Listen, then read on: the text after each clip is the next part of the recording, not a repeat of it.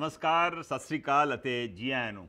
Hello global Punjab show 'ਚ north America ਦੇ global Punjab TV ਅਤੇ ਕੈਨੇਡਾ ਦੇ ਚੈਨਲ ਪੰਜਾਬੀ ਦੇ ਦਰਸ਼ਕਾਂ ਦਾ ਸਵਾਗਤ ਹੈ। ਅੱਜ ਆਪਾਂ ਗੱਲ ਕਰਾਂਗੇ ਆਮ ਆਦਮੀ ਪਾਰਟੀ ਦੀ, ਜਿਸ ਦੀ ਅੰਦਰੂਨੀ ਲੜਾਈ ਦਾ ਇੱਕ ਨਵਾਂ ਪਹਿਲੂ ਸਾਹਮਣੇ ਆਇਆ ਹੈ। ਕੀ ਇਸ ਨਾਲ ਆਮ ਆਦਮੀ ਪਾਰਟੀ 2017 ਦੀਆਂ ਚੋਣਾਂ ਤੋਂ ਪਹਿਲਾਂ ਹੀ ਕਮਜ਼ੋਰ ਹੋ ਜਾਏਗੀ? ਇਸ ਮਸਲੇ ਤੇ ਅਸੀਂ ਤੁਹਾਡੇ ਵਿਚਾਰ ਵੀ ਸਾਂਝੇ ਕਰਾਂਗੇ। ਮੈਨੂੰ ਪਤਾ ਹੈ ਕਿ ਇਸ ਸ਼ੋਅ ਦੇ ਸ਼ੁਰੂ ਹੋਣ ਤੋਂ ਪਹਿਲਾਂ ਹੀ ਕੁਝ ਕਾਲਰ ਸਾਡੇ ਨਾਲ ਜੁੜੇ ਆ। ਮੈਂ ਹੁਣੇ ਤੁਹਾਡੇ ਕੋਲ ਵਾਪਸ ਆ ਰਿਹਾ ਕਿਉਂਕਿ ਮੈਂ ਦੱਸਣਾ ਚਾਹੁੰਦਾ ਮੈਂ ਅੱਜ ਵੀ ਦੱਸਣਾ ਚਾਹੁੰਦਾ ਵਾਂ ਕਿ ਜਿਹੜੇ ਨਵੇਂ ਜੁੜੇ ਦਰਸ਼ਕ ਆ, ਉਹ ਸਾਡੇ ਸ਼ੋਅ ਨੂੰ ਨਾਰਥ ਅਮਰੀਕਾ ਦੇ ਪੈਸੀਫਿਕ ਟਾਈਮ ਮੁਤਾਬਿਕ ਸ਼ਾਮੀ 5:30 ਵਜੇ ਅਤੇ ਈਸਟਰਨ ਟਾਈਮ ਮੁਤਾਬਿਕ ਸ਼ਾਮੀ 8:30 ਵਜੇ ਮੰਡੇ ਤੋਂ ਫਰਾਈਡੇ ਲਾਈਵ ਦੇਖ ਸਕਦੇ ਨੇ।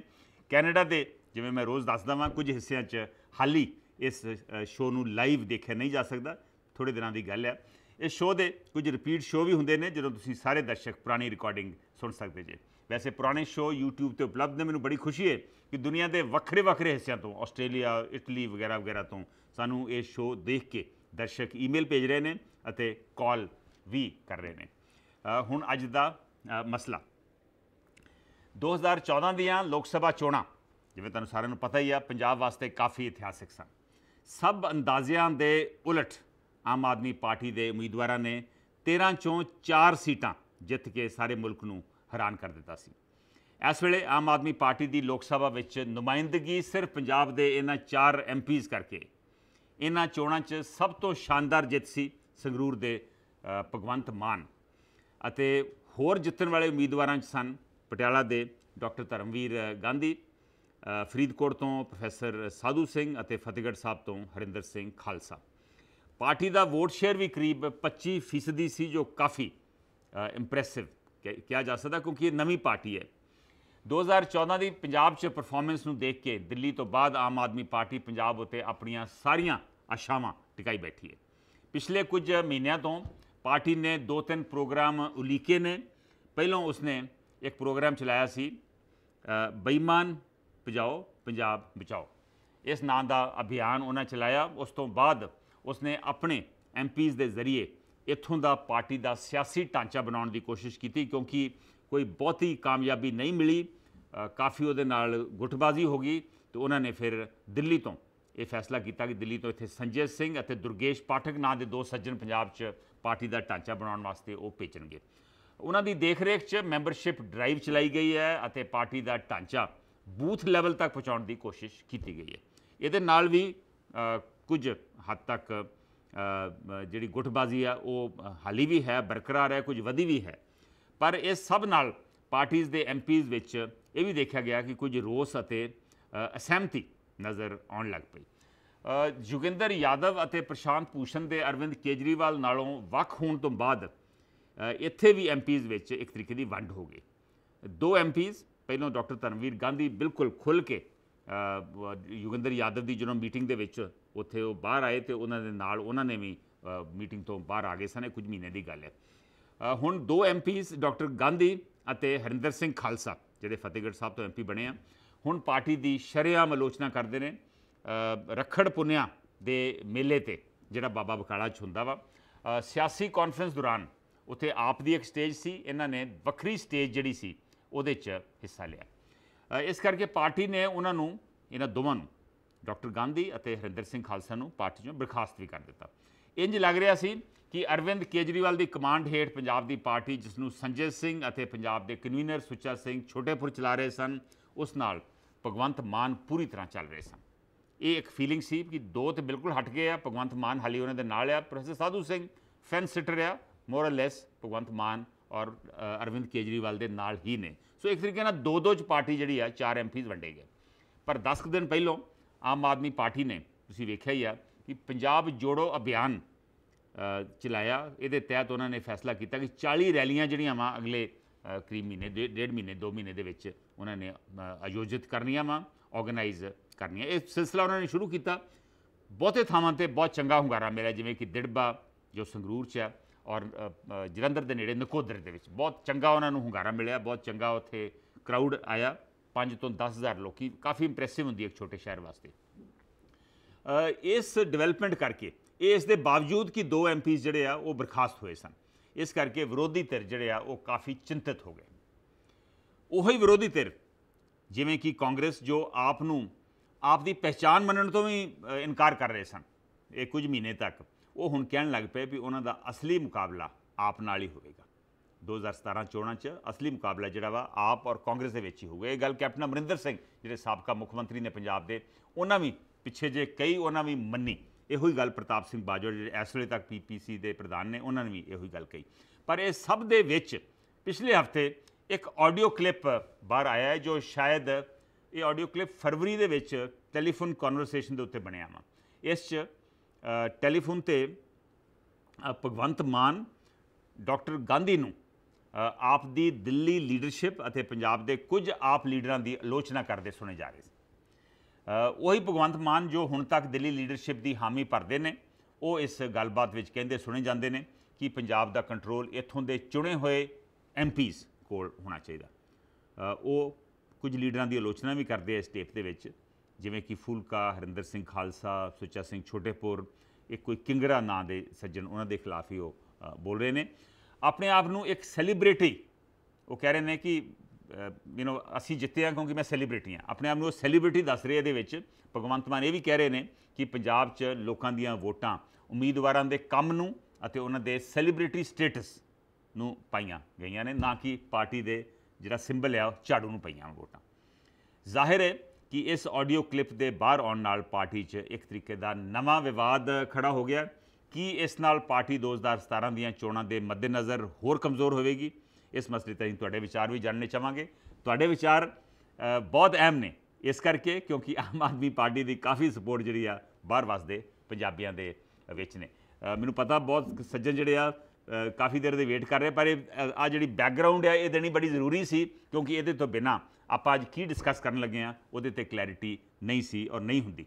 ਦੇਖਦੇ ਆ ਕਿ ਜਿਹੜੇ ਸੱਜਣ ਸਾਡੇ ਨਾਲ ਜੁੜੇ ਆ ਉਹਨਾਂ ਦੇ ਉਹਨਾਂ ਦਾ ਕੀ ਵਿਊ ਪੁਆਇੰਟ ਹੈ ਹੈਲੋ ਸਤਿ ਸ਼੍ਰੀ ਅਕਾਲ ਸੰਧੂ ਸਾਹਿਬ ਮੈਂ ਸੁਖਵੀਰ ਅਟਵਾਲ ਬੋਲ ਰਿਹਾ ਹਾਂਜੀ ਹਾਂਜੀ ਸੁਖਬੀਰ ਜੀ ਸਤਿ ਸ਼੍ਰੀ ਅਕਾਲ।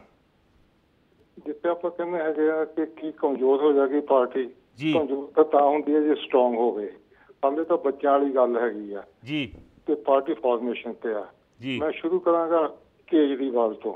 ਹਾਂ ਹਾਂ। ਜੇ ਕੇਜਰੀਵਾਲ ਦਾ ਦੇਖਿਆ ਜਾਏ ਜਦੋਂ ਅਸੀਂ ਛੋਟੇ ਛੋਟੇ ਹੁੰਦੇ ਹਾਂ, ਆਪਾਂ ਗੱਲ ਕਰ ਰਹੇ ਹਾਂ ਆਮ ਆਦਮੀ ਦੀ। ਜੀ। ਜਦ ਆਮ ਆਦਮੀ ਦੀ ਤਾਂ ਛੋਟੇ ਛੋਟੇ ਹੁੰਦੇ ਸੀ ਤਾਂ ਪੰਜਾਬ ਵਿੱਚ ਤਮਾਸ਼ਾ ਹੁੰਦਾ ਸੀਗਾ ਮਦਾਰੀ ਜਿੱਥੇ ਬਾਂਦਰਾਂ ਦਾ ਨਾਚ ਹੁੰਦਾ ਸੀ। ਜੀ। ਉਦੋਂ ਗਲੋਬਲ ਟੀਵੀ ਤਾਂ ਹੁੰਦਾ ਨਹੀਂ ਸੀ ਉਹ ਵੀ ਐਂਟਰਟੇਨਮੈਂਟ ਦਾ ਸਾਧਨ ਹੁੰਦਾ ਸੀ। ਓਕੇ। ਬਾਅਦ ਵਿੱਚ ਵੱਡੇ ਹੋਏ 25 ਸਾਲ ਦੇ ਵਿੱਚ ਯੂਪੀ ਵਿੱਚ ਜਾ ਕੇ ਦੇਖਿਆ ਉੱਥੇ ਮਦਾ ਉੱਥੇ ਬਾਂਦਰਾਂ ਦਾ ਨਾਚ ਘੱਟ ਹੁੰਦਾ ਸੀਗਾ। ਉੱਥੇ ਜਮੂਰਾ ਜ਼ਿਆਦਾ ਕਾਮਯਾਬ ਸੀਗਾ। ਜੀ। ਉਹ ਜਮੂਰੇ ਦੇ ਉੱਪਰ ਚਾਦਰ ਪਾ ਕੇ ਉਹ ਪੁੱਛਦੇ ਸੀ ਬੋਲ ਜਮੂਰਾ ਬੋਲ। ਜੀ ਜੀ। ਕੇਜਰੀਵਾਲ ਜਿੱਤੇਗਾ ਕਿ ਨਹੀਂ ਜਿੱਤੇਗਾ? ਜੀ। ਹਾਂਜੀ ਕੇਜਰੀਵਾਲ ਜਿੱਤੇਗਾ। ਚਲੋ ਤਾਲੀ ਵਜਾਓ। ਜੀ। ਉਹ ਹੈ ਕਿ ਜਿੱਤ ਕੀ ਲਿਆ? ਦਿੱਲੀ ਦੇ ਵਿੱਚ। ਦਿੱਲੀ ਕੀ ਹੈਗਾ ਆ? ਜੇ ਇੰਡੀਆ ਦਾ ਏਰੀਆ ਦੇਖਿਆ ਜਾਏ ਤਾਂ 2000 ਦਿੱਲੀ ਵਰਗੇ ਏਰੀਆ ਬਣ ਸਕਦੇ ਹੈਗੇ ਚਲੋ ਉਹ ਛੱਡੋ। ਜਿਹੜਾ ਹੁੰਦਾ ਕਿ ਇੱਥੇ ਜਨਤਾ ਦਾ ਦੇਖੋ। ਜੇ ਜਨਤਾ ਦੇਖਿਆ ਜਾਏ ਤਾਂ ਕੰਪੇਅਰ ਕਰੋ ਇੱਕ ਹੋਰ ਲੀਡਰ ਦੇ ਨਾਲ। ਚਲੋ ਆਪਾਂ ਲੈ ਲੈਂਦੇ ਹੈਗੇ ਆ ਯੂਪੀ ਦੀ ਲੀਡਰ ਜਿਹੜੀ ਹੁੰਦੀ ਸੀ ਆਪਣੀ। ਮਾਇਆਵਤੀ। ਉਹ ਉਹ- ਉਹ- ਉਹਦੇ ਬੀਪੀ ਦੇ ਮੁਕਾਬਲੇ ਵਿੱਚ ਕੇਜਰੀਵਾਲ ਦੀਆਂ ਜਿੰਨ- ਜਗ੍ਹਾ ਜਿੰਨੀਆਂ ਵੋਟਾਂ ਚੋਂ ਜਿੱਤਿਆ ਸੀ ਮਤਲਬ ਜਿੰਨੇ ਟੋਟਲ ਵੋਟਰ ਸੀਗੇ ਤਾਂ ਉਹਦੇ ਨਾਲੋਂ ਉਹ 12 12 ਗੁਣਾ ਜ਼ਿਆਦਾ ਸੀਗੀ ਮਾਇਆਵਤੀ। ਤਾਂ- ਤਾਂ ਹੈ ਕਿ ਨੈਸ਼ਨਲ ਲੈਵਲ ਤੇ ਇਹਦਾ ਕੀ ਸਟੇਟਸ ਆ? ਮਾਇਆਵਤੀ ਦਾ 112 ਤਾਂ ਜਿਹੜਾ ਹੈਗਾ ਕਿ ਉਹ ਉਹ ਕੇਜਰੀਵਾਲ ਜਾਂ ਇਹ ਛੱਡੋ ਜਿਹੜਾ ਹੈਗਾ। ਦੂਜਾ ਚੱਲ ਹੁਣ ਵਾਪਸ ਆਉਂਦੇ ਆਪਣੇ ਮੁੱਦੇ ਤੇ ਪੰਜਾਬ ਤੇ।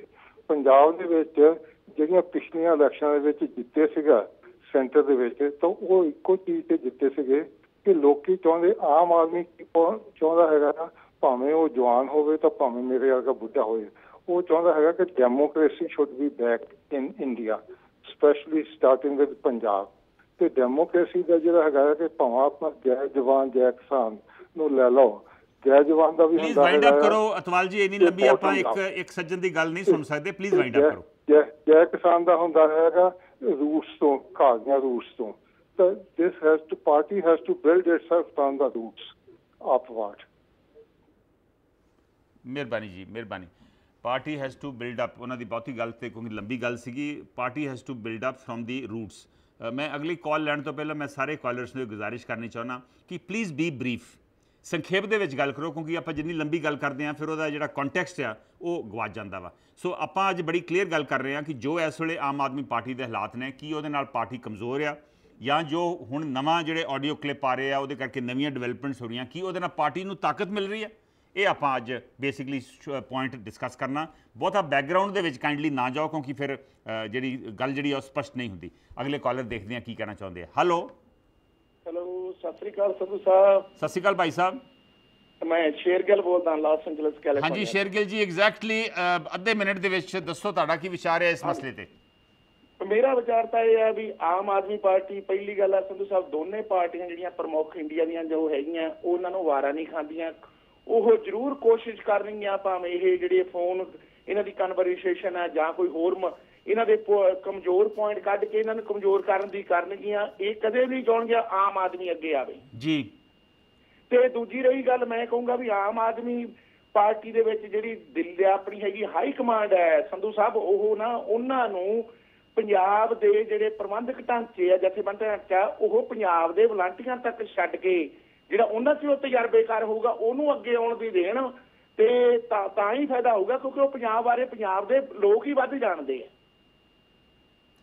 ਦੇਖੋ ਸ਼ੇਰਗਿਲ ਜੀ ਦੋ ਗੱਲਾਂ ਜੇ ਮੇਰਾ ਖਿਆਲ ਇੱਕ ਟੈਂਡੈਂਸੀ ਹੁੰਦੀ ਆਮ ਤੌਰ ਤੇ ਵੀ ਦੂਜੇ ਨੂੰ ਬਲੇਮ ਕਰੋ ਆਪਣੀਆਂ ਪ੍ਰੋਬਲਮਸ ਵਾਸਤੇ। ਸਾਡਾ ਮੁਲਕ ਵੀ ਬਹੁਤ ਸਾਲ ਤੱਕ ਅਸੀਂ ਫੋਰਨ ਹੈਂਡ ਨੂੰ ਬਲੇਮ ਕਰਦੇ ਨੇ ਜੋ ਵੀ ਇੱਥੇ ਹੁੰਦਾ ਸੀ। ਵੀ ਇਹ ਫੋਰਨ ਹੈਂਡ ਕਰਵਾ ਰਿਹਾ ਜੀ ਜੋ ਕਰਵਾ ਰਿਹਾ। ਸੋ ਇਸੇ ਕਰਕੇ ਹੁਣ ਆਮ ਆਦਮੀ ਆਮ ਆਦਮੀ ਪਾਰਟੀ ਬਾਰੇ ਲੋਕੀ ਕਹਿ ਰਹੇ ਆ ਕਿ ਇਹ ਦੂਜੀਆਂ ਜਿਹੜੀਆਂ ਵੱਡੀਆਂ ਪਾਰਟੀਆਂ ਭਾਜਪਾ ਕਾਂਗਰਸ ਅਕਾਲੀ ਦਲ ਇਹ ਜ਼ਿੰਮੇਵਾਰ ਆ ਜੋ ਪਾਰਟੀ 'ਚ ਹੋ ਰਿਹਾ ਵਾ। ਆਡੀਓ ਕਲਿੱਪ ਆ ਰਹੀ ਆ ਉਹਨਾਂ ਕੱਢੀ ਆ।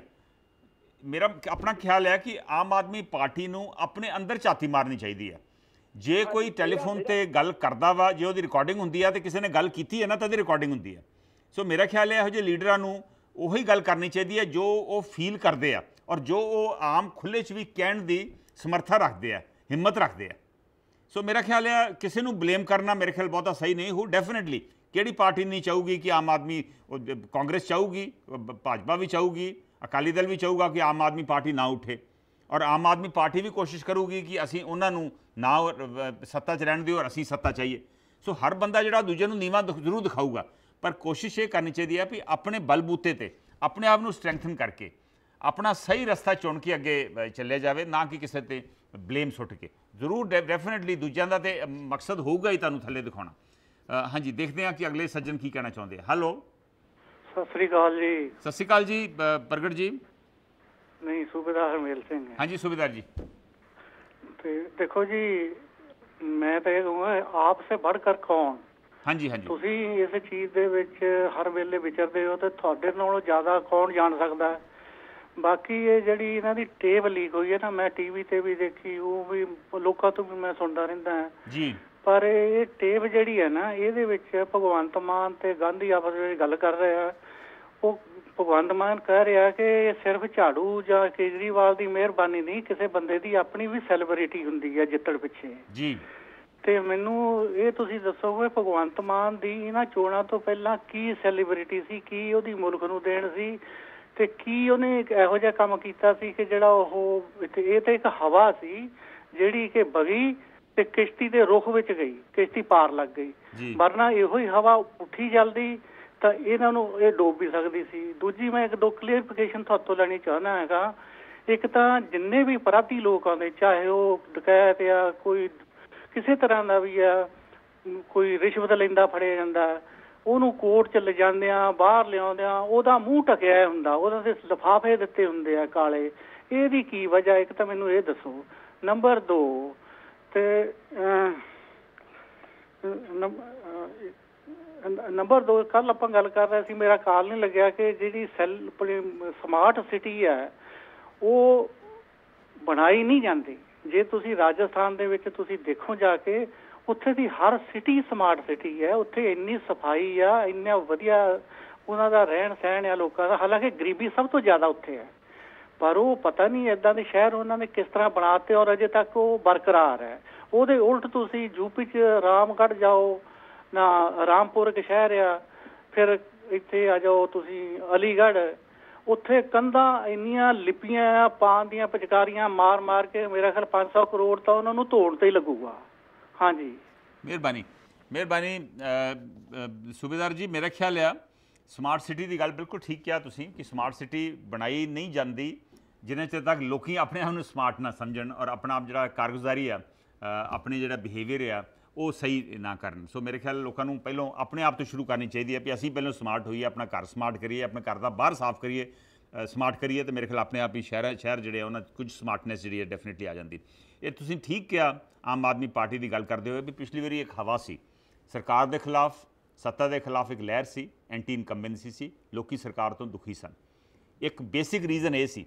ਇਸ ਰੀਜ਼ਨ ਦੇ ਹੁੰਦਿਆਂ ਹੋਇਆਂ, ਉਸ ਤੋਂ ਬਾਅਦ ਫਿਰ ਉਧਰ ਅਰਵਿੰਦ ਕੇਜਰੀਵਾਲ ਦਾ ਉੱਭਰ ਕੇ ਆਉਣਾ, ਆਮ ਆਦਮੀ ਪਾਰਟੀ ਦਾ ਉੱਭਰ ਕੇ ਆਉਣਾ, ਇੱਕ ਨਵੀਂ ਸੋਚ ਦਾ ਉੱਭਰ ਕੇ ਆਉਣਾ ਔਰ ਫਿਰ ਇੱਥੇ ਜਿਹੜੇ ਉਹਨਾਂ ਨੇ ਕੈਂਡੀਡੇਟ ਚੁਣੇ, ਉਹ ਵੀ ਕਰੀਬ ਕਰੀਬ ਕੈਂਡੀਡੇਟ ਜਿਹੜੇ ਸੀ, ਉਹਨਾਂ ਦੀ ਚੰਗੀ ਇਮੇਜ ਸੀ। ਕਿਸੇ ਦੀ ਥੋੜੀ ਜੀ ਜ਼ਿਆਦਾ ਚੰਗੀ ਇਮੇਜ ਸੀ, ਉਹਦੇ ਨਾਲ ਥੋੜਾ ਬਹੁਤ ਉਹਨੂੰ ਫਿਲਮਾਂ ਕਰਕੇ, ਗਾਣਿਆਂ ਕਰਕੇ ਜਾਂ ਉਹ ਸਟੇਜ ਦੇ ਪਰਫਾਰਮੈਂਸ ਕਰਕੇ ਉਹਨਾਂ ਨੂੰ ਲੋਕੀ ਜ਼ਿਆਦਾ ਜਾਣਦੇ ਸੀ। ਮੇਰਾ ਨਹੀਂ ਖਿਆਲ ਕੋਈ ਸੈਲੀਬ੍ਰਿਟੀ ਸਟੇਟਸ ਇਹਨਾਂ ਜੋ ਕਿਸੇ ਦਾ ਵੀ ਸੀ। ਸੈਲੀਬ੍ਰਿਟੀ ਸਟੇਟਸ ਇੱਕ ਬਹੁਤ ਉੱਚੀ ਚੀਜ਼ ਹੁੰਦੀ ਹੈ। ਜੇ ਕੋਈ ਬੰਦਾ ਆਪਣੇ ਆਪ ਨੂੰ ਸੈਲੀਬ੍ਰਿਟੀ ਸਟੇਟਸ ਕਹਿ ਰਿਹਾ ਵਾ ਤੇ ਮੇਰੇ ਖਿਆਲ ਮੇਰੇ ਖਿਆਲ ਉਹਨਾਂ ਨੂੰ ਥੋੜੀ ਜਿਹੀ ਅੰਦਰ ਆਪਣੀ ਝਾਤੀ ਮਾਰਨ ਦੀ ਲੋੜ ਆ। ਪਰ ਮੇਰਾ ਮਤਲਬ ਕਹਿਣ ਦਾ ਇਹ ਆ ਕਿ ਇਹ ਸਾਰੇ ਲੋਕਾਂ ਹੀ ਜਿਹੜੇ ਆ, ਇਹਨਾਂ ਨੂੰ ਇਹ ਫੀਲ ਹੋਣਾ ਚਾਹੀਦਾ ਸੀਗਾ ਕਿ ਇਹ ਇੱਕ ਮਾਹੌਲ ਬਣ ਗਿਆ। ਤੁਸੀਂ ਬਿਲਕੁਲ ਸਹੀ ਕਿਹਾ ਕਿ ਹਵਾ ਬਣ ਗਈ, ਜਿਹਦੇ ਕਰਕੇ ਇਹ ਲੋਕੀ ਜਿਹੜੇ ਆ ਜਿੱਤ ਕੇ ਆਏ। ਇਹਦੇ 'ਚ ਕੋਈ ਇੱਕ ਕਾਰਨ ਸ਼ਾਇਦ ਨਹੀਂ ਸੀ। ਇਹੋ ਹੀ ਸੱਜਣ ਜਿਹੜੇ ਆ, ਉਸ ਤੋਂ 2 ਸਾਲ ਪਹਿਲਾਂ ਇਹ ਚੋਣਾਂ ਦੇ ਵਿੱਚ ਤੁਸੀਂ ਵੇਖ ਲਿਆ ਵਾ ਵੀ ਦੋ ਦੋ ਸੀਟਾਂ ਇਹਨਾਂ ਲੋਕਾਂ ਨੇ ਲੜੀਆਂ, ਪਰ ਇੱਕ ਵੀ ਸੀਟ ਤੋਂ ਜਿੱਤ ਨਹੀਂ ਸਕੇ। ਸੋ ਇਹੋ ਹੀ ਬੰਦੇ ਜਿਹੜੇ ਆ, ਉਹ ਸੀਟਾਂ ਨਹੀਂ ਸੀ ਜਿੱਤ ਸਕੇ 2 ਸਾਲ ਪਹਿਲਾਂ, ਹੁਣ ਉਹਨਾਂ ਨੂੰ ਲੱਖਾਂ ਵੋਟਾਂ ਤੋਂ ਜਿੱਤ ਹਾਸਲ ਹੋਈ। ਸੋ ਇਸ ਕਰਕੇ ਇੱਕ ਮਾਹੌਲ ਹੁੰਦਾ ਵਾ ਔਰ ਇਹ ਵੀ ਕੋਈ ਪਤਾ ਨਹੀਂ ਜੇ, ਇਸ ਤਰ੍ਹਾਂ ਹੀ ਕੰਮ ਚੱਲਦਾ ਰਿਹਾ ਤੇ ਅਗਲੀਆਂ ਚੋਣਾਂ ਦੇ ਵਿੱਚ ਇਹ ਕਿਹੋ ਜੀ ਹਵਾ ਬਣਨੀ ਹੈ। ਸੋ ਇਸ ਕਰਕੇ ਮੇਰਾ ਖਿਆਲ ਆ ਇਹ ਜਿੰਨਾ ਚਿਰ ਤੱਕ ਇਹਨਾਂ ਨੂੰ ਰਿਅਲਾਈਜੇਸ਼ਨ ਨਹੀਂ ਹੋਊਗੀ ਮੇਰੇ ਖਿਆਲ ਪਾਰਟੀ ਦਾ ਅੱਗੇ ਵਧਣਾ ਜਿਹੜਾ ਵਾ ਉਹ ਕਾਫੀ ਮੁਸ਼ਕਲ ਹੋਊਗਾ। ਔਰ ਇਹਦੇ ਜਿਹੜੀ ਮੈਂ ਵਾ ਉਹਨੂੰ ਸ਼ਾਇਦ ਛੱਡਣਾ ਪਊਗਾ ਪਾਰਟੀ ਨੂੰ ਮੁੱਖ ਰੱਖ ਕੇ ਅੱਗੇ ਵਧਣਾ ਪਊਗਾ। ਦੇਖਦੇ ਹਾਂ ਅਗਲੇ ਸੱਜਣ ਕੀ ਕਹਿਣਾ ਚਾਹੁੰਦੇ ਆ। ਹੈਲੋ ਹੈਲੋ ਸੰਧੂ ਸਾਹਿਬ ਸਤਿ ਸ੍ਰੀ ਅਕਾਲ ਜੀ। ਸਤਿ ਸ਼੍ਰੀ ਅਕਾਲ ਜੀ। ਹਾਂਜੀ ਹਾਂਜੀ ਸੰਧੂ ਸਾਹਿਬ ਦੇਖੋ ਜੀ ਇਹ ਜੋ ਆਮ ਆਦਮੀ ਪਾਰਟੀ ਦਾ ਕਾਟੋ ਕਲੇਸ਼ ਹੈ ਜੀ ਜੋ ਮਰਜ਼ੀ ਹੈ ਜੀ ਪਰ ਮੇਰਾ ਜੋ ਦਿਲ ਗਵਾਹੀ ਦਿੰਦਾ ਵੀ ਜਦੋਂ ਭਾਈ ਕੇਜਰੀਵਾਲ ਸਾਹਿਬ ਕੌਣ ਬੋਲ ਰਹੇ? ਆਪਣਾ ਆਪਣਾ ਨਾਮ ਜ਼ਰੂਰ ਦੱਸੋ। ਆ ਹਰਮਿੰਦਰ ਸਿੰਘ ਬੋਲਦਾ ਜੀ। ਹਾਂਜੀ ਹਾਂਜੀ ਹਰਮਿੰਦਰ ਜੀ।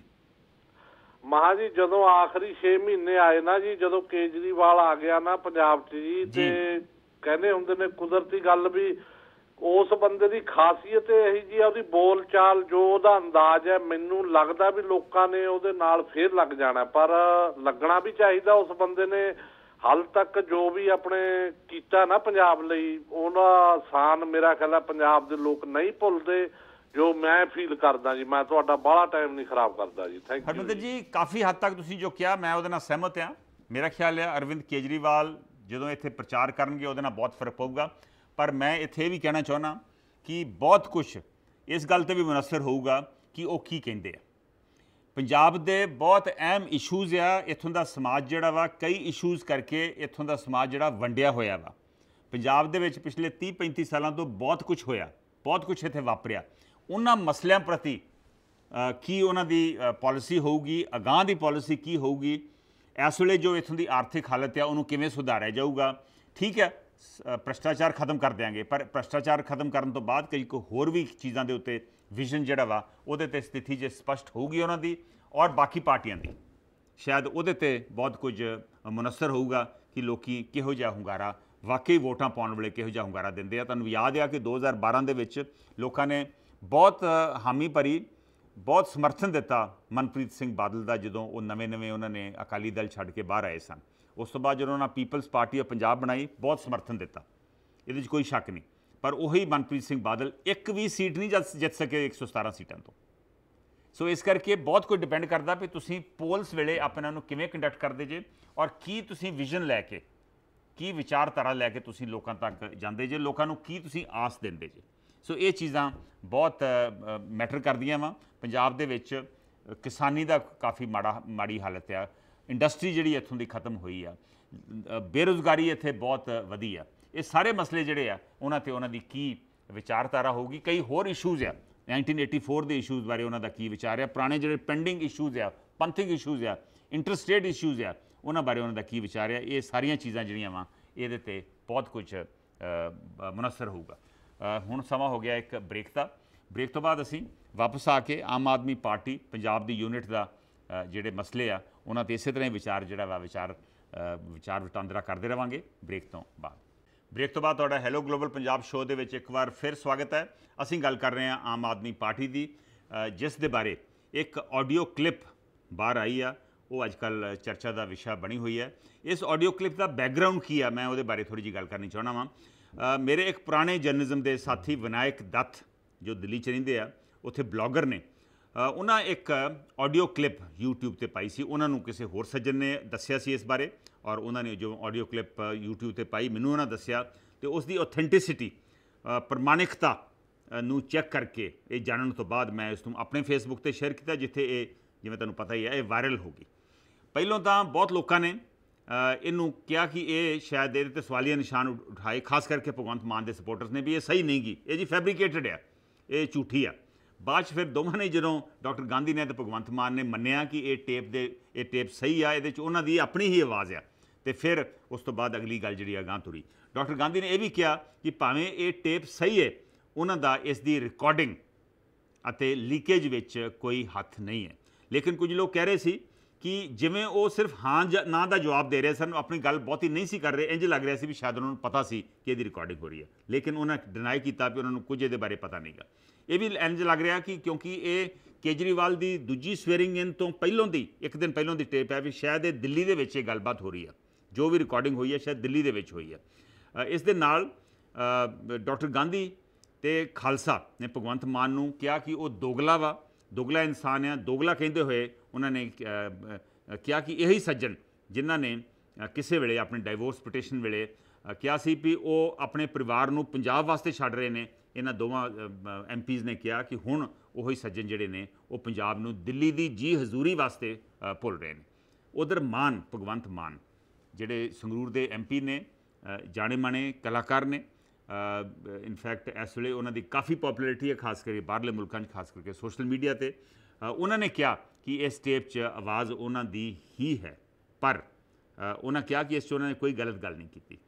ਅਤੇ ਉਹ ਸਿਰਫ ਡਾਕਟਰ ਗਾਂਧੀ ਨੂੰ ਪੰਜਾਬ ਦੇ ਹਾਲਾਤਾਂ ਬਾਰੇ ਇਸ ਟੇਪ ਦੇ ਵਿੱਚ ਇਸ ਟੈਲੀਫੋਨ ਕਨਵਰਸੇਸ਼ਨ ਦੇ ਵਿੱਚ ਜਾਣੂ ਕਰਵਾ ਰਹੇ ਨੇ।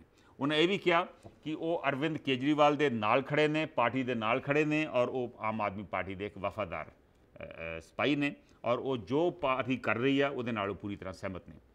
ਭਾਵੇਂ ਆਮ ਆਦਮੀ ਪਾਰਟੀ ਦੀ ਦਿੱਲੀ ਲੀਡਰਸ਼ਿਪ ਨੇ ਵੀ ਇਸ ਆਡੀਓ ਕਲਿੱਪ ਨੂੰ ਬਹੁਤੀ ਅਹਿਮੀਅਤ ਨਹੀਂ ਦਿੱਤੀ ਲੇਕਿਨ ਇਹ ਇਸ ਵੇਲੇ ਤੁਹਾਨੂੰ ਪਤਾ ਹੀ ਆ ਕਿ ਇੱਕ ਚਰਚਾ ਦਾ ਵਿਸ਼ਾ ਬਣਿਆ ਹੋਇਆ ਵਾ। ਦੇਖਦੇ ਹਾਂ ਸਾਡੇ ਜਿਹੜੇ ਸੱਜਣ ਸਾਡੇ ਨਾਲ ਜੁੜੇ ਆ ਉਹਨਾਂ ਦਾ ਇਹਦੇ ਬਾਰੇ ਕੀ ਵਿਊ ਪੁਆਇੰਟ ਹੈ। ਹੈਲੋ ਹੈਲੋ ਹਾਂਜੀ।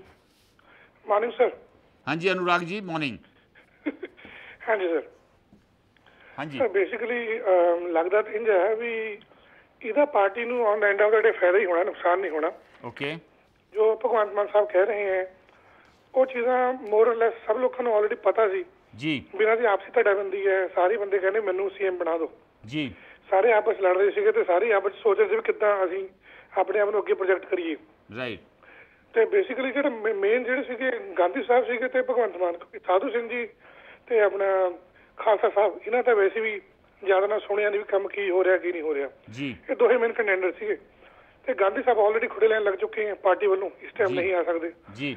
ਤੇ ਹੁਣ ਦੂਜਾ ਹੈ ਭਗਵੰਤ ਮਾਨ ਸਾਹਿਬ ਦੀ ਆਡੀਓ ਟੇਪ ਲੀਕ ਹੋ ਗਈ।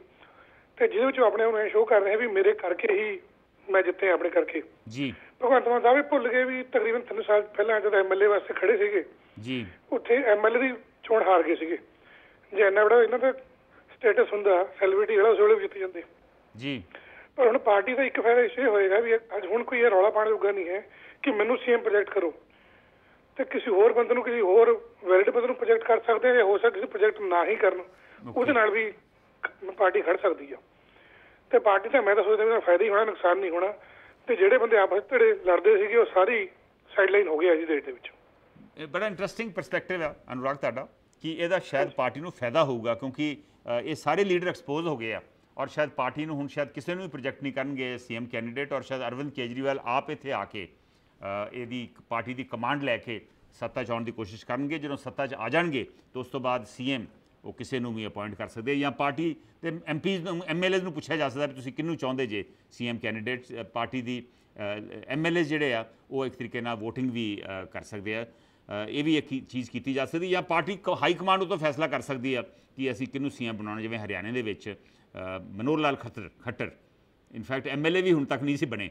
ਪਹਿਲੀ ਵਾਰੀ ਐਮਐਲਏ ਬਣੇ ਔਰ ਉਹਨਾਂ ਨੂੰ ਉਹਨਾਂ ਨੇ ਸੀਐਮ ਬਣਾ ਦਿੱਤਾ ਉੱਥੇ। ਬੜੇ ਪੁਰਾਣੇ ਲੀਡਰਸ ਨੂੰ ਇਗਨੋਰ ਕਰਕੇ ਵੀ। ਸੋ ਪਾਰਟੀ ਹਾਈ ਕਮਾਂਡ ਕੁਝ ਵੀ ਕਰ ਸਕਦੀ ਆ। ਅਨੁਰਾਗ ਗੌਤਮ ਦਾ ਇਹ ਕਹਿਣਾ ਵਾ ਕਿ ਪਾਰਟੀ ਨੂੰ ਇਹਦਾ ਸ਼ਾਇਦ ਫਾਇਦਾ ਹੀ ਹੋਊਗਾ। ਦੇਖਦੇ ਹਾਂ ਸਾਡੇ ਅਗਲੇ ਸੱਜਣ ਉਹਨਾਂ ਨਾਲ ਸਹਿਮਤ ਨੇ ਕਿ ਨਹੀਂ। ਹੈਲੋ ਹੈਲੋ ਸਤਿ ਸ਼੍ਰੀ ਅਕਾਲ ਭਾਜੀ। ਸਤਿ ਸ਼੍ਰੀ ਅਕਾਲ ਜੀ। ਬਲਵਿੰਦਰ ਸਿੰਘ ਬੋਲ ਰਿਹਾ ਜੀ ਮਜ਼ਦੂਰੀ ਤੋਂ। ਰਵਿੰਦਰ ਸਿੰਘ? ਬਲਵਿੰਦਰ ਸਿੰਘ ਹਾਂਜੀ ਬਲਵਿੰਦਰ ਸਿੰਘ ਜੀ ਸਵਾਗਤ ਹੈ। ਦੱਸੋ ਕੀ ਵਿਚਾਰ ਹੈ ਤੁਹਾਡਾ? ਦੋ ਗੱਲਾਂ ਨੇ ਜੀ। ਪਹਿਲਾਂ ਤਾਂ ਮੈਂ ਦੱਸਾਂ ਕਿ ਮੈਂ ਆਪ ਨਕੂਦਰ ਤੋਂ ਆ ਓਕੇ ਤੇ ਦੂਜੀ ਗੱਲ ਭਗਵੰਤ ਮਾਨ ਬਾਰੇ ਇੱਕ ਇੱਕ ਹੀ ਗੱਲ ਕਹਿ ਸਕਦਾ ਜੀ ਕਿ ਇੱਕ ਛੋਟੀ ਜੀ ਸਟੋਰੀ ਹੈ ਕਿ ਯੂ ਕਿ ਬੜੇ ਪੱਥਰ ਪਏ ਸੀਗੇ ਉਹਦੇ ਵਿੱਚੋਂ ਇੱਕ ਇਨਸਾਨ ਨੇ ਇੱਕ ਪੱਥਰ ਚੁੱਕ ਕੇ ਦੁਕਾਨ ਦੇ ਵਿੱਚ ਰੱਖ ਦਿੱਤਾ ਤੇ ਕਹਿ ਦਿੱਤਾ ਕਿ ਭਾਈ ਇਹ ਹੀਰਾ ਹੈ। ਓਕੇ ਹੁਣ ਹੀਰੇ ਨੂੰ ਹੰਕਾਰ ਇਹ ਹੈ ਕਿ ਵੀ ਭਾਈ ਮੇਰੀ ਕੀਮਤ ਜ਼ਿਆਦਾ ਵਾ। ਹੁਣ ਸੋਚਣ ਵਾਲੀ ਗੱਲ ਇਹ ਹੈ ਕਿ ਹੀਰਾ ਜੇ ਉਹ ਦੁਕਾਨ ਦੇ ਵਿੱਚ ਨਾ ਜਾਂਦਾ ਤਾਂ ਉਸ ਤੋਂ ਪਹਿਲਾਂ ਤਾਂ ਪੱਥਰ ਹੀ ਸੀਗਾ ਠੀਕ ਆ ਥੋੜੇ ਬਹੁਤ ਦੇ ਨਾਲ ਦੇ ਪੱਥਰਾਂ ਨੂੰ ਪਤਾ ਸੀਗਾ ਕਿ ਇਹ ਸਭ ਤੋਂ ਜ਼ਿਆਦਾ ਇਹ ਸਾਡੇ ਤੋਂ ਜ਼ਿਆਦਾ ਚਮਕਦਾ ਹੈ। ਪਰ ਜਦੋਂ ਦੁਕਾਨ ਦੇ ਵਿੱਚ ਚਲਾ ਗਿਆ ਹੁਣ ਤਾਂ ਜ਼ਿਆਦਾ ਲੋਕੀ ਉਹਨੂੰ ਪਛਾਣਨ ਲੱਗ ਪਏ।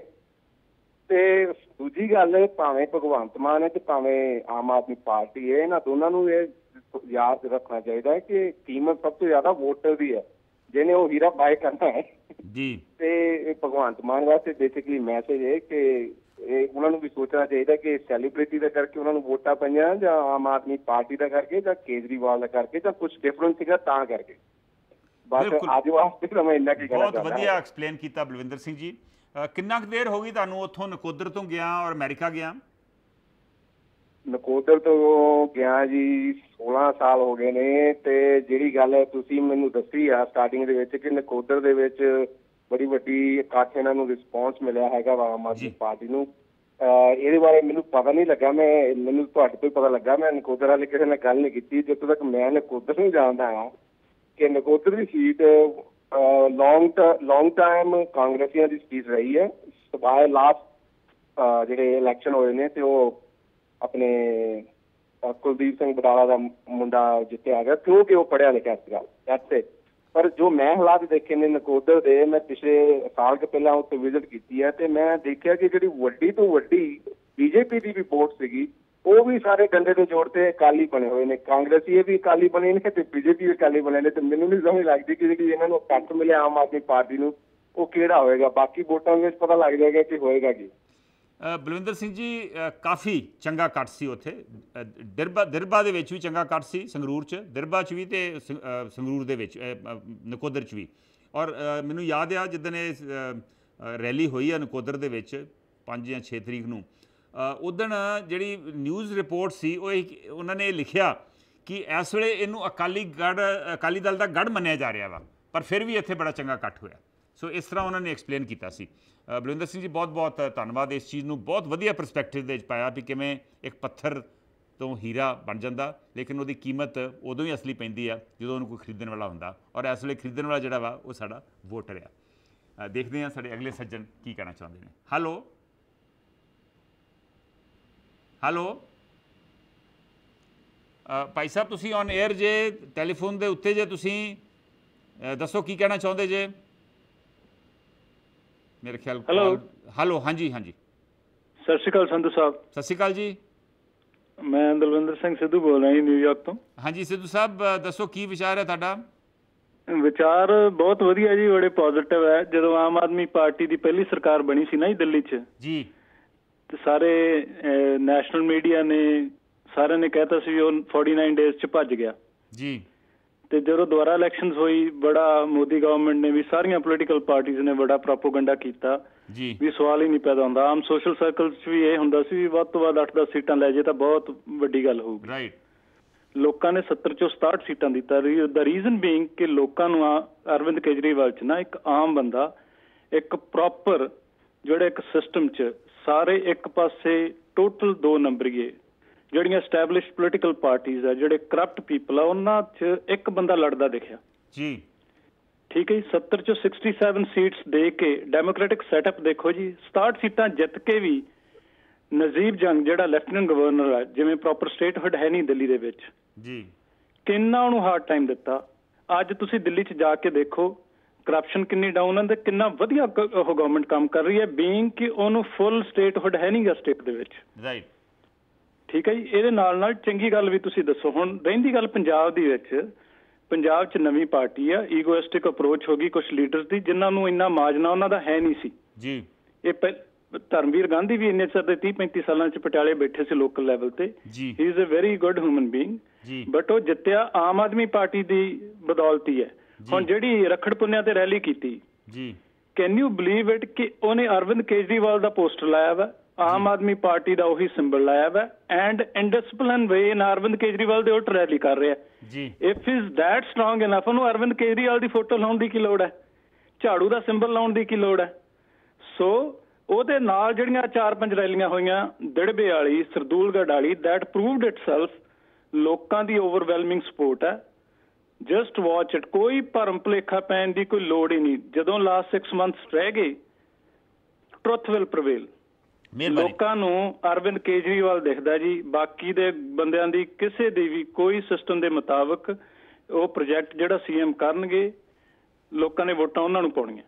ਮਿਹਰਬਾਨੀ ਸਿੱਧੂ ਸਾਹਿਬ ਬਿਲਕੁਲ ਇਹ ਠੀਕ ਤੁਸੀਂ ਕਿਹਾ ਕਿ ਬਹੁਤ ਲੋਕੀ ਜਿਹੜੇ ਆ ਉਹਨਾਂ ਨੂੰ ਪਾਰਟੀ ਦੇ ਹਿੱਤ ਨਹੀਂ ਆਪਣੇ ਪਰਸਨਲ ਹਿੱਤ ਜਿਹੜੇ ਆ ਉਹ ਪ੍ਰਮੁੱਖ ਨਜ਼ਰ ਆ ਰਹੇ ਆ। ਲੇਕਿਨ ਕਾਫੀ ਹੱਦ ਤੱਕ ਅਰਵਿੰਦ ਕੇਜਰੀਵਾਲ ਦੀ ਸਪੋਰਟ ਹਾਲੀ ਵੀ ਕਾਇਮ ਆ। ਔਰ ਅਖੀਰਲੇ 6 ਮਹੀਨੇ ਦੇ ਵਿੱਚ ਜਦੋਂ ਇੱਥੇ ਆ ਗਏ, ਕਿਉਂਕਿ ਦਿੱਲੀ ਦਾ ਕੰਮ ਜਿਹੜਾ ਵਾ, ਉਹ ਨਜ਼ਰ ਆ ਰਿਹਾ ਵਾ, ਜਦੋਂ ਇੱਥੇ ਆ ਗਏ, ਉਹਦੇ ਨਾਲ ਸ਼ਾਇਦ ਇੰਜ ਲੱਗ ਰਿਹਾ ਵਾ ਕਿ ਲੋਕੀ ਜਿਹੜੇ ਆ, ਜਿਹੜੇ ਹਾਲੀ ਵੀ ਉਹਨਾਂ ਨਾਲ ਜੁੜੇ ਆ, ਉਹ ਉਹਨਾਂ ਨਾਲ, ਉਹਨਾਂ ਦਾ ਪੂਰਾ ਸਮਰਥਨ ਦੇਣਗੇ। ਜਿਹੜੇ ਲੋਕਾਂ ਨੂੰ ਉਹ- ਉਹ ਚੁਣਨਗੇ ਇਲੈਕਸ਼ਨ ਲੜਨ ਵਾਸਤੇ, ਜੇ ਉਹ ਸਹੀ ਲੋਕ ਹੋਣਗੇ ਔਰ ਜ਼ਾਹਿਰ ਹੈ ਕਿ ਸਹੀ ਲੋਕਾਂ ਨੂੰ ਹੀ ਟਿਕਟ ਦੇਣਗੇ ਉਹ, ਮੇਰੇ ਖਿਆਲ ਉਹਨਾਂ ਨੂੰ ਕਾਫੀ ਸਪੋਰਟ ਮਿਲੂਗੀ। ਵੈਸੇ ਇਹ ਗੱਲ ਤਾਂ ਠੀਕ ਆ, ਪਰ ਜੇ ਇਹ ਸਾਰੇ ਇਕੱਠੇ ਹੋ ਜਾਣ ਜਿਹੜੇ ਹੁਣ ਰੁੱਸੇ ਵੀ ਆ ਜੋ ਵੀ ਵਾਪਸ ਆ ਜਾਣ ਤੇ ਮੇਰੇ ਖਿਆਲ ਉਹਦੇ ਨਾਲ ਹੋਰ ਵੀ ਤਾਕਤ ਜਿਹੜੀ ਆ ਪਾਰਟੀ ਨੂੰ ਡੈਫੀਨਿਟਲੀ ਮਿਲ ਸਕਦੀ ਆ। ਦੇਖਦੇ ਸਾਡੇ ਅਗਲੇ ਸੱਜਣ ਕੀ ਕਹਿੰਦੇ ਨੇ। ਉਹਨਾਂ ਦੀ ਗੱਲ ਸੁਣ ਕੇ ਫਿਰ ਅਸੀਂ ਇੱਕ ਛੋਟੀ ਜੀ ਬ੍ਰੇਕ ਹੋਰ ਲਵਾਂਗੇ। ਹੈਲੋ ਸਤਿ ਸ੍ਰੀ ਅਕਾਲ ਜੀ ਅਵਤਾਰ ਸਿੰਘ ਛੀਨਾ। ਹਾਂਜੀ ਹਾਂਜੀ ਅਵਤਾਰ ਸਿੰਘ ਜੀ। ਮੈਂ ਤੁਹਾਨੂੰ ਇਸ ਸੰਬੰਧ ਵਿੱਚ ਇੱਕ ਈਮੇਲ ਵੀ ਕੀਤੀ ਸੀ। ਅ, ਅੱਛਾ ਜੀ। ਚਲੋ ਖੈਰ ਮੈਂ ਦੁਬਾਰਾ ਕਹਿਣਾ ਫਿਰ। ਹਾਂਜੀ ਹਾਂਜੀ। ਅਗਰ ਕੇਜਰੀਵਾਲ ਸਾਹਿਬ ਆ ਜਾਣ ਪੰਜਾਬ ਦੇ ਵਿੱਚ ਜ਼ਰੂਰੀ ਨਹੀਂ ਕਿ ਉਹਨਾਂ ਨੇ ਸੀਐਮਈ ਪ੍ਰੋਜੈਕਟ ਹੋਣਾ। ਜੀ। ਆਉਣ ਆ ਕੇ ਦੇਖਣ ਫਟਾਫਟ ਇਹ ਸਾਰੇ ਭੱਜ ਕੇ ਉਹਨਾਂ ਦੇ ਪਰਾਂ ਥੱਲੇ ਜਾ ਵੜਨਗੇ ਜਿਹੜੇ ਅੱਜ ਫੁਦਕਦੇ ਫਿਰਦੇ ਨੇ। Okay okay. ਤੇ ਕਾਲੀਆਂ ਤੇ ਚਿੱਟੀਆਂ ਤੋਂ ਬਾਅਦ ਜੇ ਪੰਜਾਬ ਦੇ ਆਵਾਮ ਨੇ ਕਿਸੇ ਨੂੰ ਰੈਕਗਨਾਈਜ਼ ਕੀਤਾ ਉਹ ਝਾੜੂ ਨੂੰ ਕੀਤਾ। ਜੀ ਜੀ। ਲੋਕ ਕਾਲੇ ਨੇ ਬਈ ਇੱਕ ਸਟਰੋਂਗ ਚਿਹਰਾ ਸਾਡੇ ਅੱਗੇ ਆਵੇ ਇਸ ਡੱਡੂਆਂ ਦੀ ਪੰਸੇਰੀ ਨੂੰ ਲੀਡ ਕਰੇ ਤੇ ਇਹਨਾਂ ਨੂੰ ਥਾਂ ਸਿਰ ਰੱਖੇ ਤੇ ਤੁਸੀਂ ਦੇਖਿਓ ਹਰ ਹਾਲਤ ਉਹਨਾਂ ਨੂੰ ਬਹੁਮਤ ਮਿਲੂਗਾ। ਮੈਂ ਇਹ ਜਿਹੜੇ ਸੱਜਣ ਕਹਿੰਦੇ ਨੇ ਬਈ ਕੇਜਰੀਵਾਲ ਨਹੀਂ ਜਿੱਤਿਆ ਤੇ ਕੌਣ ਨਹੀਂ ਜਿੱਤਿਆ ਇੱਕ ਸ਼ੇਰ ਦੇ ਨਾਲ ਮੈਂ ਆਪਦੀ ਗੱਲ ਪੂਰੀ ਕਰਦਾ ਹਾਂ। ਜੀ। ਸਿਰਫ ਦੋ ਲਾਈਨਾਂ ਨੇ। ਬੀਜੇਪੀ ਨੇ ਜਿੱਤੀ ਦੇਸ਼ ਅੰਦਰ। ਮੋਦੀ ਜਿੱਤਿਆ, ਮੋਦੀ ਦਾ ਜਾਹੋ ਜਲਾਲ ਜਿੱਤਿਆ। ਕੱਲੀ ਆਪ ਨੇ ਦਿੱਲੀ ਫਤਿਹ ਕੀਤੀ। ਮਫਲਰ ਜਿੱਤਿਆ, ਕੇਜਰੀਵਾਲ ਜਿੱਤਿਆ। ਧੰਨਵਾਦ ਜੀ। ਮਿਹਰਬਾਨੀ ਅਵਤਾਰ ਸਿੰਘ ਜੀ, ਬਹੁਤ ਬਹੁਤ ਮਿਹਰਬਾਨੀ। ਸਾਨੂੰ ਤੁਸੀਂ ਆਪਣਾ ਪਰਸਪੈਕਟਿਵ ਜਿਹੜਾ ਵਾ ਉਹ ਦੱਸਿਆ। ਇਨਫੈਕਟ ਇਹ ਅਸੀਂ ਜਿਹੜੀ ਡਿਸਕਸ਼ਨ ਆ, ਇਹ ਇਸੇ ਤਰ੍ਹਾਂ ਹੀ ਜਾਰੀ ਰੱਖਾਂਗੇ। ਹੁਣ ਸਮਾਂ ਹੋ ਗਿਆ ਇੱਕ ਹੋਰ ਬ੍ਰੇਕ ਦਾ। ਬ੍ਰੇਕ ਛੋਟੀ ਜੀ ਬ੍ਰੇਕ ਲਵਾਂਗੇ। ਬ੍ਰੇਕ ਤੋਂ ਜਲਦ ਵਾਪਸ ਆ ਕੇ ਆਮ ਆਦਮੀ ਪਾਰਟੀ ਦਾ ਜਿਹੜਾ ਮਸਲਾ ਵਾ ਇਹਦੇ ਤੇ ਵਿਚਾਰ ਵਟਾਂਦਰਾ। ਇਸੇ ਤਰ੍ਹਾਂ ਹੀ ਆਪਾਂ ਜਾਰੀ ਰੱਖਾਂਗੇ ਬ੍ਰੇਕ ਤੋਂ ਬਾਅਦ। ਵੈਲਕਮ ਬੈਕ, ਤੁਸੀਂ ਸੁਣ ਰਹੇ ਜੇ ਸ਼ੋਅ ਹੈਲੋ ਗਲੋਬਲ ਪੰਜਾਬ। ਅਸੀਂ ਗੱਲ ਕਰ ਰਹੇ ਹਾਂ ਆਮ ਆਦਮੀ ਪਾਰਟੀ ਦੀ, ਜਿਸ ਵਿੱਚ ਇੱਕ ਨਵਾਂ ਵਿਵਾਦ ਛਿੜਿਆ ਹੋਇਆ ਹੈ। ਇਹ ਹੈ ਇੱਕ ਆਡੀਓ ਕਲਿੱਪ ਕਰਕੇ। ਇਹ ਵਿਵਾਦ ਦੀ ਇੱਕ ਜਿਹੜੀ ਇੰਟਰਸਟਿੰਗ ਗੱਲ ਇਹ ਆ ਵੀ ਇਹ ਜਿਹੜਾ ਆਡੀਓ ਕਲਿੱਪ ਆ, ਇਹ ਰਿਕਾਰਡ ਕਿਨੇ ਕੀਤਾ? ਡਾਕਟਰ ਗਾਂਧੀ ਕਹਿ ਰਹੇ ਨੇ ਕਿ ਜਿਹੜੇ ਲੋਕ ਭਗਵੰਤ ਮਾਨ ਦੇ ਨਾਲ ਸੀਐਮ ਦੀ ਕੁਰਸੀ ਦੇ ਦਾਅਵੇਦਾਰ ਨੇ, ਜਿਵੇਂ ਕਿ ਫੂਲਕਾ, ਛੋਟੇਪੁਰ ਉਹਨਾਂ ਦੇ ਕੈਂਪ ਦਾ ਵੀ ਇਹ ਕੰਮ ਹੋ ਸਕਦਾ ਵਾ। ਵੈਸੇ ਫੂਲਕਾ ਨੇ ਕਿਹਾ ਵਾ ਕਿ ਉਹ ਸੀਐਮਸ਼ਿਪ ਦੇ ਦਾਅਵੇਦਾਰ ਨਹੀਂ ਨੇ। ਉਧਰ ਦਿੱਲੀ ਦੀ ਆਮ ਆਦਮੀ ਪਾਰਟੀ ਦੇ ਲੀਡਰ ਇਹ ਕਹਿ ਰਹੇ ਨੇ ਕਿ ਸ਼ਾਇਦ ਇਹ ਰਿਕਾਰਡਿੰਗ ਜਿਹੜੀ ਆ, ਇਹ ਕੀਤੀ ਗਈ ਆ ਕੁਝ ਇੰਟੈਲੀਜੈਂਸ ਏਜੰਸੀਜ਼ ਵੱਲੋਂ। ਸੋ ਇਹ ਉਹਨਾਂ ਦਾ ਮੰਨਣਾ ਵਾ ਕਿ ਇਹ ਸਹੀ ਹੈ ਨਹੀਂ ਸਹੀ ਹੈ ਇਹਦੇ ਬਾਰੇ ਜਿਹੜਾ ਵਾ, ਉਹ ਜੇ ਇਨਕੁਆਇਰੀ ਹੋਊ, ਤਦ ਹੀ ਪਤਾ ਲੱਗ ਸਕਦਾ ਇਹਦੀ ਉੱਚ ਪੱਧਰੀ ਜਾਂਚ ਦੀ ਉਹ ਮੰਗ ਕਰ ਰਹੇ ਨੇ। ਦੇਖਦੇ ਸਾਡੇ ਜਿਹੜੇ ਸੱਜਣ ਸਾਡੇ ਨਾਲ ਜੁੜੇ ਆ ਉਹ ਇਹ ਸਭ ਬਾਰੇ ਉਹਨਾਂ ਦਾ ਕੀ ਵਿਚਾਰ ਹੈ ਕੀ ਵਿਊ ਪੁਆਇੰਟ ਹੈ। ਹੈਲੋ ਹੈਲੋ ਹਾਂਜੀ ਭਾਜੀ ਸਤਿ ਸ਼੍ਰੀ ਅਕਾਲ ਜੀ। ਸਤਿ ਸ਼੍ਰੀ ਅਕਾਲ ਜੀ।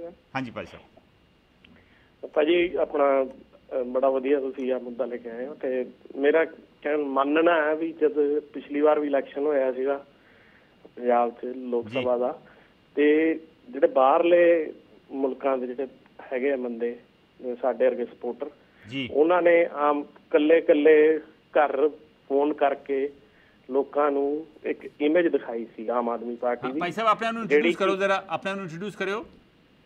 ਗਗਨ ਬਾਸੀ ਹਾਂ ਜੀ ਮੈਂ ਹਾਂਜੀ ਹਾਂਜੀ। ਭਾਈ ਸਾਹਿਬ ਹਾਂਜੀ। ਹਾਂਜੀ। ਬਿਲਕੁਲ ਠੀਕ ਹੈ ਬਾਹਰੋਂ ਬਹੁਤ ਸਪੋਰਟ ਆਈ। ਹਾਂਜੀ ਤੇ ਉਹ ਜਿਹੜੀ ਅਸੀਂ ਇਮੇਜ ਪ੍ਰੈਜ਼ੈਂਟ ਕਰੀ ਸੀ ਉਹਨੂੰ ਬਿਲਕੁਲ ਉਹ ਮਤਲਬ ਜਾਮੀ ਅਮਨਾ ਪਲਾ ਰਹੇ ਆ ਦਿੱਲੀ 'ਚ ਜਿਹੜੀ ਸਰਕਾਰ ਉਹਨਾਂ ਨੇ ਬਣਾਈ ਆ। ਜੀ। ਉੱਥੇ ਦਾ ਸਿਸਟਮ ਜੇ ਤੁਸੀਂ ਦੇਖੋ ਤਾਂ ਬਹੁਤ ਵਧੀਆ ਹੋ ਰਿਹਾ ਉੱਥੇ ਜੋ ਵੀ ਹੋ ਰਿਹਾ। ਜੀ। ਹਾਲਾਂਕਿ ਉਹਨਾਂ ਨੂੰ ਉੱਥੇ ਬਹੁਤ ਪੁਸ਼ਬੈਕ ਹੈ ਬਿਲਕੁਲ ਠੀਕ ਹੈ। ਮਤਲਬ ਜਿਹੜੀ ਸੈਂਟਰ ਸਰਕਾਰ ਆ ਉਹ ਬਿਲਕੁਲ ਉਹਨਾਂ ਦੀ ਚੱਲਣ ਨਹੀਂ ਦੇ ਰਹੀ। ਜੀ। ਤੇ ਬਟ ਫਿਰ ਵੀ ਮਤਲਬ ਮੇਰਾ ਮੰਨਣਾ ਹੈ ਵੀ ਇਹ ਸਾਰਾ ਜਿਹੜਾ ਹੈਗਾ ਨਾ ਇਹ ਵਾਸ਼ ਆਊਟ ਹੋ ਜਾਏਗਾ ਵਿਦ ਦਾ ਟਾਈਮ ਓਕੇ ਜਦ ਪੰਜਾਬ 'ਚ ਇਲੈਕਸ਼ਨ ਆਣਗੇ ਸੋ ਪਾਰਟੀ ਨੂੰ ਇਹਦਾ ਬਹੁਤਾ ਫ਼ਰਕ ਫਿਰ ਨਹੀਂ ਪੈਣਾ ਇਹ ਸਭ ਕੁਝ ਵਾਸ਼ ਆਊਟ ਹੋ ਜਾਊਗਾ। ਬਹੁਤ ਬਹੁਤ ਮਿਹਰਬਾਨੀ ਦੇਖਦੇ ਹਾਂ ਸਾਡੇ ਅਗਲੇ ਸੱਜਣ ਕੀ ਕਹਿਣਾ ਚਾਹੁੰਦੇ ਨੇ। ਹੈਲੋ ਹੈਲੋ ਅੰਕਲ ਜੀ ਸਤਿ ਸ੍ਰੀ ਅਕਾਲ। ਹਾਂਜੀ ਸੁਖਪ੍ਰੀਤ? ਹਾਂਜੀ। ਅੰਕਲ ਅਹ ਜਿੱਦਾਂ ਨਾ ਅੱਜ ਦੋ ਦੋ ਚੀਜ਼ਾਂ ਤੇ ਗੱਲ ਕਰਨੀ ਹੈ ਮੈਂ ਤਾਂ ਇੱਕ ਤਾਂ ਨਾ ਜਿਹੜੀ ਇਹਨਾਂ ਦੀ ਰਿਕਾਰਡਿੰਗ ਕਰਕੇ ਲੀਕ ਕੀਤੀ ਹੈ ਦੂਸਰਾ ਜਿਹੜੀ ਇੱਕ ਆਮ ਪਾਰਟੀ ਕੁੜੀ ਦੇ ਨਾਲ ਹਨਾ ਛੇੜਛਾੜ ਵੀ ਹੋਈ ਆ। ਹਾਂਜੀ ਉਹਦੇ ਤੇ ਇਹਨਾਂ ਨੇ ਕੋਈ ਐਕਸ਼ਨ ਨਹੀਂ ਲਿਆ ਹੈਗਾ। ਅੰਕਲ ਇਹ ਪਤਾ ਕੀ ਹੈ ਅਸਲ ਵਿੱਚ? ਇਹ ਜਿਹੜੀ ਨਾ ਇਹਨਾਂ ਨੇ ਸਿਚੁਏਸ਼ਨ ਸਨ 82 ਦਾ ਮੋਰਚਾ ਫੇਲ ਕਰਨ ਲਈ ਤੇ ਖਾੜ ਖਾੜਕੂ ਲਹਿਰ ਨੂੰ ਬਦਨਾਮ ਕਰਕੇ ਉਹਨੂੰ ਦਬਾਉਣ ਲਈ ਕੀਤੀ ਸੀ ਨਾ ਉਹੀ ਸਿਚੁਏਸ਼ਨ ਇਹ ਹੁਣ ਆਮ ਪਾਰਟੀ ਨੂੰ ਖਤਮ ਕਰਨ ਲਈ ਵਿਰੋਧੀ ਪਾਰਟੀਆਂ ਜਿਹੜੀਆਂ ਕ੍ਰੀਏਟ ਕਰਦੀਆਂ ਆ। ਓਕੇ ਪਤਾ ਅੰਕਲ ਜੀ, ਹਾਂਜੀ ਸਿਆਸੀ ਪਾਰਟੀਆਂ ਜਿੱਦਾਂ ਹੈਗਾ ਅੰਕਲ ਜੋ ਧਰਮਵੀਰ ਗਾਂਧੀ ਆ ਇਹ ਮਤਲਬ ਕਿ ਇੰਨਾ ਗੰਦਾ ਕੰਮ ਇਹ ਤਾਂ ਕਰ ਨਹੀਂ ਸਕਦਾ ਹੈਗਾ ਵੀ ਉਹ ਇਦਾਂ ਦੀ ਲੀਕਿੰਗ ਕਰੂਗਾ ਨਹੀਂ ਉਹ ਇੰਨਾ ਗਿਰਿਆ ਬੰਦਾ ਨਹੀਂ ਹੈਗਾ। ਹਨਾ? ਅੱਗੇ ਅੰਕਲ ਸਾਜ਼ਿਸ਼ਕਾਰੀਆਂ ਦੇ ਸਾਰੇ ਕੰਮ ਆ ਭਗਵੰਤ ਮਾਨ ਨੂੰ ਨੇ ਜੇ ਉਹਨਾਂ ਕੋਈ ਵੀ ਗੱਲ ਕੀਤੀ ਵੀ ਆ ਉਹ ਕੋਈ ਗਲਤ ਤਾਂ ਉਹਨੇ ਕੀਤੀ ਨੂੰ ਸਹੀ ਗੱਲ ਕੀਤੀ ਆ। ਉਹਨੇ ਹੱਕ ਉਹਨਾਂ ਤੋਂ ਸਾਰੇ ਹੱਕ ਖੋਏ ਜਾਂਦੇ ਆ। ਉਹ ਖੋਂਦਾ ਕੌਣ? ਸੁੱਚਾ ਸਿੰਘ ਖੋਂਦਾ ਆ। ਹਰ ਇੱਕ ਹਲਕੇ ਦੇ ਵਿੱਚੋਂ ਆਪਣੇ ਬੰਦੇ ਲਾਈ ਜਾਂਦਾ ਆ। ਹਰੇਕ ਤੇ ਉਹਦੀ ਮਰਜ਼ੀ ਹੁੰਦੀ ਆ। ਇਹ ਤਾਂ ਫਿਰ ਪਾਰਟੀ ਸ- ਸਰਾਸਰ ਮਤਲਬ ਕਿ ਜ਼ਿਆਦਤੀਆਂ ਹੋਈਆਂ ਨੇ ਅੰਕਲ ਜੀ ਇਹ ਜ਼ਿਆਦਤੀਆਂ ਜਿਹੜੀਆਂ ਇਹ ਟੇਪ ਲੀਕਿੰਗ ਦਾ ਕੰਮ ਹੈ ਸੁੱਚਾ ਸਿੰਘ ਖੁਦ ਵੀ ਕਰ ਸਕਦਾ ਆ ਮੈਨੂੰ ਤਾਂ ਇੱਥੇ ਓਕੇ ਦੂਸਰੀ ਗੱਲ ਤੁਸੀਂ ਕੀ ਕਹਿਣਾ ਚਾਹੁੰਦੇ ਜੇ? ਹਾਂਜੀ? ਦੂਸਰੀ ਗੱਲ ਤੁਸੀਂ ਕਹਿਣਾ ਚਾਹੁੰਦੇ ਸੀ ਕੋਈ? ਅੰਜ- ਅੰਕਲ ਜਿਹੜਾ ਉਹਨੂੰ ਛੇੜਛਾੜ ਦਾ ਮਾਮਲਾ ਹੋਇਆ ਨਾ ਕੁੜੀ ਦਾ ਜੀ ਜੀ। ਉਹਦੇ ਵਿੱਚ ਇਹਨਾਂ ਨੇ 6 ਮਹੀਨੇ ਹੋ ਗਿਆ ਇਹਨਾਂ ਨੇ ਕੋਈ ਐਕਸ਼ਨ ਨਹੀਂ ਲਿਆ। ਦੇਖੋ ਉਹ ਅਮਨਦੀਪ ਕੌਰ ਲੜਕੀ ਆ ਬਠਿੰਡੇ ਦੇ ਨੇੜੇ ਦੀ ਲੜਕੀ ਆ ਉਹਨੇ ਕਿਹਾ ਵਾ ਕੁਝ ਸੱਜਣਾ ਨੇ ਉਹਦੇ ਨਾਲ ਛੇੜਛਾਣੀ ਕੀਤੀ ਆ ਔਰ ਉਹਨਾਂ ਦੇ ਉਹਨੂੰ ਬਦਨਾਮ ਕਰਨ ਦੀ ਕੋਸ਼ਿਸ਼ ਕੀਤੀ ਆ ਸੋਸ਼ਲ ਮੀਡੀਆ ਤੇ ਉਹਦੀਆਂ ਮੌਰਫਡ ਪਿਕਚਰਸ ਲਾਈਆਂ ਵਾ। ਇਹਦੇ ਤੇ ਉਹ ਪੁਲਿਸ ਕੋਲ ਵੀ ਗਈ ਆ ਪੁਲਿਸ ਕਹਿੰਦੀ ਆ ਵੀ ਪੁਲਿਸ ਕੇਸ ਨਹੀਂ ਬਣਦਾ ਲੇਕਿਨ ਉਹ ਦੁਬਾਰਾ ਪੁਲਿਸ ਨੂੰ ਕਹਿ ਰਹੀ ਆ ਵੀ ਇਹਦੀ ਜਾਂਚ ਕਰੋ। ਸੁੱਚਾ ਸਿੰਘ ਛੋਟੇਪੁਰ ਕਹਿ ਰਹੇ ਆ ਕਿ ਉਹਨਾਂ ਨੇ ਉਹਨਾਂ ਸੱਜਣਾਂ ਨੂੰ ਪੁੱਛਿਆ ਵਾ, ਉਹਨਾਂ ਨੇ ਕਿਹਾ ਵਾ ਵੀ ਅਸੀਂ ਇਹੋ ਜੀ ਕੋਈ ਗੱਲਬਾਤ ਨਹੀਂ ਕੀਤੀ, ਪਰ ਮੇਰਾ ਆਪਣਾ ਮੰਨਣਾ ਵਾ ਕਿ ਇਹਦੇ ਤੇ ਇੱਕ ਇਨਕੁਆਇਰੀ ਕਮੇਟੀ ਜ਼ਰੂਰ ਬੈਠਣੀ ਚਾਹੀਦੀ ਹੈ, ਕਿਉਂਕਿ ਲੜਕੀ ਜੇ ਕੋਈ ਇਲਜ਼ਾਮ ਲਾ ਰਹੀ ਆ, ਤੇ ਉਹਨੂੰ ਗੰਭੀਰਤਾ ਨਾਲ ਲੈਣਾ ਚਾਹੀਦਾ ਵਾ ਔਰ ਡੈਫੀਨਿਟਲੀ ਇਸ ਮਸਲੇ ਵਾਸਤੇ ਇੱਕ ਕਮੇਟੀ ਦਾ ਗਠਨ ਕਰਨਾ ਚਾਹੀਦਾ ਵਾ। ਵੈਸੇ ਤੇ ਹਰ ਸਿਆਸੀ ਪਾਰਟੀ ਦੇ ਵਿੱਚ ਇੱਕ ਸੈਕਸ਼ੂਅਲ ਹੈਰੈਸਮੈਂਟ ਕਮੇਟੀ ਦਾ ਗਠਨ ਹੋਣਾ ਚਾਹੀਦਾ। ਕਾਨੂੰਨ ਮੁਤਾਬਿਕ ਹੀ ਹਰ ਡਿਪਾਰਟਮੈਂਟ ਦੇ 'ਚ ਇਹੋ ਜਿਹੀ ਕਮੇਟੀ ਹੋਣੀ ਚਾਹੀਦੀ ਔਰ ਮੇਰੇ ਖਿਆਲ ਸਿਆਸੀ ਪਾਰਟੀਆਂ 'ਚ ਵੀ ਇਹੋ ਜਿਹੀ ਕਮੇਟੀ ਜਿਹੜੀ ਆ, ਉਹ ਜ਼ਰੂਰੀ ਹੋਣੀ ਚਾਹੀਦੀ ਆ ਕਿਉਂਕਿ ਆਪਾਂ ਆਮ ਆਦਮੀ ਪਾਰਟੀ ਦੀ ਗੱਲ ਕਰ ਰਹੇ ਹਾਂ, ਇਹਦੇ 'ਚ ਕੋਈ ਸ਼ੱਕ ਨਹੀਂ ਕਿ ਬਾਕੀ ਵਿਰੋਧੀ ਧਿਰਾਂ ਦੇ ਮੁਕਾਬਲੇ, ਖਾਸ ਕਰਕੇ ਕਾਂਗਰਸ ਦੇ ਮੁਕਾਬਲੇ ਆਮ ਆਦਮੀ ਪਾਰਟੀ ਨੂੰ ਹਾਲੇ ਵੀ ਲੋਕਾਂ ਵੱਲੋਂ ਬਹੁਤ ਚੰਗਾ ਹੁੰਗਾਰਾ ਮਿਲ ਰਿਹਾ ਵਾ। ਪਰ ਇਸ ਟੇਪ ਦੇ ਬਾਹਰ ਆਉਣ ਨਾਲ ਜਿਹੜੀ ਪਾਰਟੀ, ਯਾਨੀ ਆਮ ਆਦਮੀ ਪਾਰਟੀ, ਜੋ ਪੰਜਾਬ 'ਚ ਦਿਨੋ ਦਿਨ ਹੋਰ ਜ਼ੋਰ ਫੜ ਰਹੀ ਸੀ ਉਸ ਦੀ ਰਫ਼ਤਾਰ 'ਚ ਕੁਝ ਫ਼ਰਕ ਜ਼ਰੂਰ ਪਵੇਗਾ। ਮੈਂ ਜਿਵੇਂ ਅੱਗੇ ਕਹਿੰਦਾ ਕਹਿੰਦਾ ਆ ਰਿਹਾ ਵਾਂ, ਸ਼ਾਇਦ ਇਹਨਾਂ ਸਾਰੇ ਲੀਡਰਾਂ ਨੂੰ ਇਕੱਠੇ ਬੈਠ ਕੇ ਇੱਕ ਦਿਲੋਂ ਵਿਚਾਰ ਵਟਾਂਦਰਾ ਸ਼ਾਇਦ ਕਰਨਾ ਹੋਵੇਗਾ, ਜੇ ਇਹ ਵਾਕਿਆ ਹੀ ਚਾਹੁੰਦੇ ਨੇ ਕਿ 2017 ਦੀਆਂ ਪੰਜਾਬ ਦੇ ਚੋਣਾਂ ਦੇ ਵਿੱਚ ਸੱਤਾ ਦੇ ਵਾਕਈ ਦਾਅਵੇਦਾਰ ਹੋਣ। ਮੈਨੂੰ ਪਤਾ ਵਾ ਕਾਲਰ ਬਹੁਤ ਹੋਲਡ ਕਰ ਰਹੇ ਆ, ਪਰ ਮੇਰੇ ਖਿਆਲ ਹੁਣ ਸਮਾਂ ਜਿਹੜਾ ਵਾ ਉਹ ਖਤਮ ਹੋ ਰਿਹਾ, ਸੋ ਤੁਹਾਨੂੰ ਮੈਨੂੰ ਇਜਾਜ਼ਤ ਦੇਣੀ ਪਊਗੀ। ਹੁਣ ਆਪਾਂ ਕੱਲ ਮਿਲਾਂਗੇ ਇੱਕ ਨਵਾਂ ਮਸਲਾ ਲੈ ਕੇ। ਕੱਲ ਆਪਾਂ ਚੰਡੀਗੜ੍ਹ 에ਅਰਪੋਰਟ ਦੀ ਗੱਲ ਕਰਾਂਗੇ, ਜਿਸ ਦਾ ਉਦਘਾਟਨ 11 ਸਤੰਬਰ ਨੂੰ ਪ੍ਰਧਾਨ ਮੰਤਰੀ ਨਰਿੰਦਰ ਮੋਦੀ ਖੁਦ ਕਰ ਰਹੇ ਨੇ। ਇਸ ਫੰਕਸ਼ਨ ਵਾਸਤੇ ਵੈਸੇ ਕਿਉਂਕਿ ਇਹ ਚੰਡੀਗੜ੍ਹ ਆ ਰਹੇ ਆ ਸਾਰਾ ਸ਼ਹਿਰ ਦੀ ਪੋਚਾਪਾਚੀ ਜਿਹੜੀ ਆ ਇਸ ਵੇਲੇ ਪੂਰੇ ਜ਼ੋਰਾਂ ਦੇ ਉੱਤੇ ਹੈ। ਉਦਘਾਟਨ ਮੌਕੇ ਇਸ ਦੇ ਨਾਮ ਉੱਪਰ 에어ਪੋਰਟ ਦੇ ਨਾਮ ਉੱਪਰ ਇੱਕ ਵਿਵਾਦ ਛਿੜਿਆ ਹੋਇਆ ਹੈ। ਇਹ ਵੀ ਫੀਲਿੰਗ ਹੈ ਕਿ ਚੰਡੀਗੜ੍ਹ 에어ਪੋਰਟ ਦੇ ਬੰਦ ਕਰਕੇ ਅੰਮ੍ਰਿਤਸਰ 에어ਪੋਰਟ ਨੂੰ ਨੁਕਸਾਨ ਹੋਵੇਗਾ। ਇਹ ਸਾਰਾ ਮਸਲਾ ਆਪਾਂ ਕੱਲ ਵਿਸਤਾਰ ਦੇ ਵਿੱਚ ਵਿਚਾਰਾਂਗੇ। ਹੁਣ ਮੈਨੂੰ ਦਿਓ ਇਜਾਜ਼ਤ। ਨਮਸਕਾਰ। ਸਤਿ ਸ਼੍ਰੀ ਅਕਾਲ। ਰੱਬ ਰੱਖਾ।